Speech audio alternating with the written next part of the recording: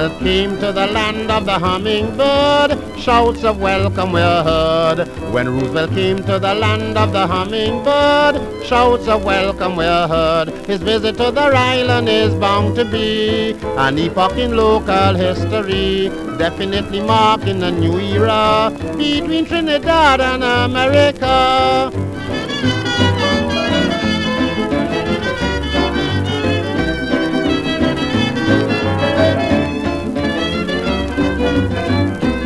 Enthusiasm and jubilation was evinced by the entire population.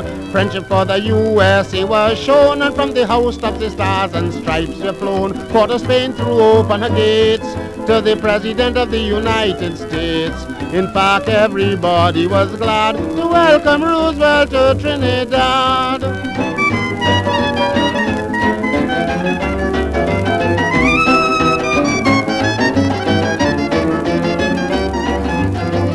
We were privileged to see the democratic president of the great republic with his charming and genial personality and his wonderful urbanity. We were struck by his modest style and was intrigued by the famous Roosevelt smile. No wonder everybody was glad at the great honor shown Trinidad.